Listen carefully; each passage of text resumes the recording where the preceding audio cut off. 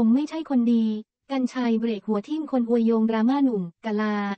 โดนแซวสนั่นโซเชียลอีกแล้วเมื่อล่าสุดพิธีกรหนุ่มกรรชัย ได้อ่านข่าวประเด็นดราม่าร้อนนักร้องเสียงนุ่ม หนุ่มกะลาในรายการเที่ยงวันทันเหตุการณ์ ซึ่งบางช่วงบางตอนเจ้าตัวก็รีบเบรกชาวเน็ตอย่างไว หลังมีคนคอมเมนต์เข้ามาว่า หนุ่มเดียวที่ฉันรู้จักคือหนุ่มกรรชัย โดยหนุ่มกรรชัยบอกว่าไม่ต้อง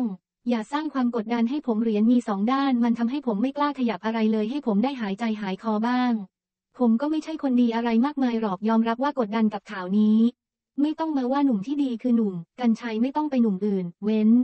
หนุ่มกัญชัยไว้สักคนหนึ่งอีนี่ก็ประวัติเยอะทุกวันนี้อ่านข่าวก็สะเทือนขั้วหัวใจเหมือนกันกลัวกลัววันหนึ่งจะอยู่แผ่นดินไทยไม่ได้ จะรักหนุ่มไหนก็รักไปหนุ่มกัญชัยหลบหลบไว้ ไม่ต้องพูดถึงอายเขา จากคำพูดดังกล่าวทำให้แฟนๆ ขุดตำนานข่าวดังรถมินิขึ้นมาพูดทันที พร้อมแซวกันว่าก่อนจะหยุดพ่อก็สุดมาก่อนแม่พ่อเขาก็รู้ประวัติพ่อแหละ แต่ทุกวันนี้กลับตัวกลับใจชาติเน็ตก็ชื่นชมอะค่ะ เครื่องหมายสี่เหลี่ยมหนุ่มที่ดีคือหนุ่มกัญชัย ก่อนหนุ่มจะนิ่งหนุ่มก็กลิ้งมาก่อนนนน